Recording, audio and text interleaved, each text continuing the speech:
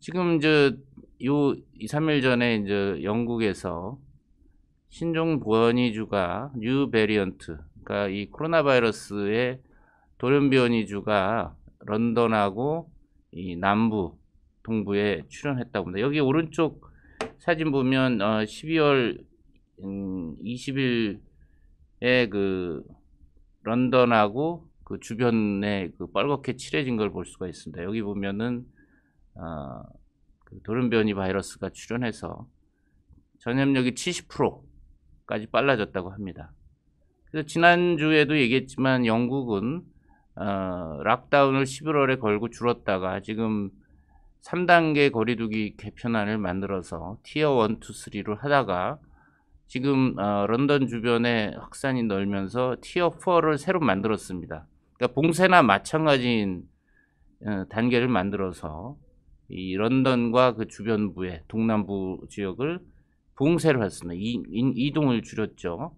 이 신종 변이주는 VUI Variant Under Investigation 2020-12/01이라고 해서 이 바이러스의 스파이크 단백에 그 17개 정도의 변이가 있고 그 R값을 0.4 정도 높인다고 합니다.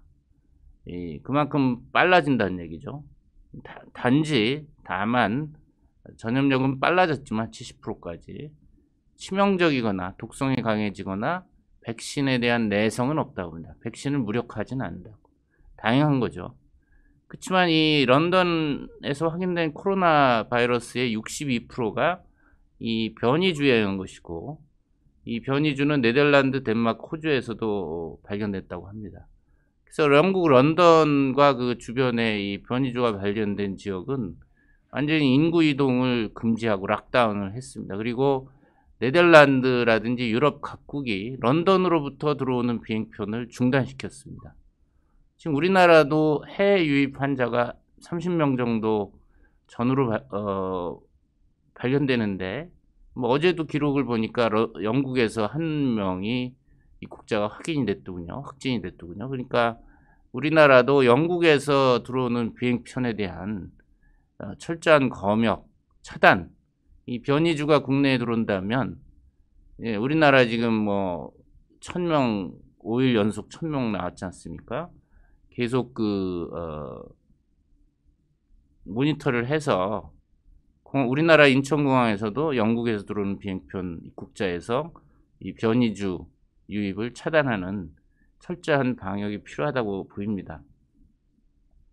하여튼 영국은 이 봉쇄를 런던과 동남부 지역에 이제 적용을 해서 크리스마스 동안 가족 상봉을 금지하고 어, 그 전에 이제 허용한다고 했었거든요. 그리고 비필수 가게 휴업하고 사람들은 어, 집에 체류하고 뭐 식료품이나 약국이나 필수적인 쇼핑 또 교회 이런 종교 시설 어, 방문을 허용했다고 합니다.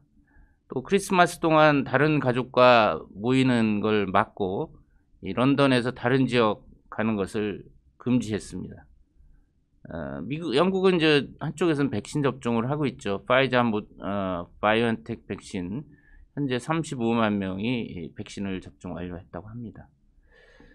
영국의 리탈리아에서도 환자가 폭증이 되면서 12월 24일, 1월 6일 동안 전국을 봉쇄 조치를 했고 어, 한 가정에 손님을 두 명만 어, 까지 허용을 했습니다. 그리고 네덜란드, 독일도 1월까지 봉시, 봉사, 봉쇄 조치를 하고 독일은 크리스마스에 한해서 한 가족 친척 4인까지 초대 가능한 걸로 되어 있고 오스트리아도 어, 12월 26일부터 봉쇄 들어가고 스웨덴이 그동안 마스크 착용을 권고하지 않았었는데 에, 공중교통 기관에서는 탑승 시에 안면 마스크 착용을 의무화했습니다.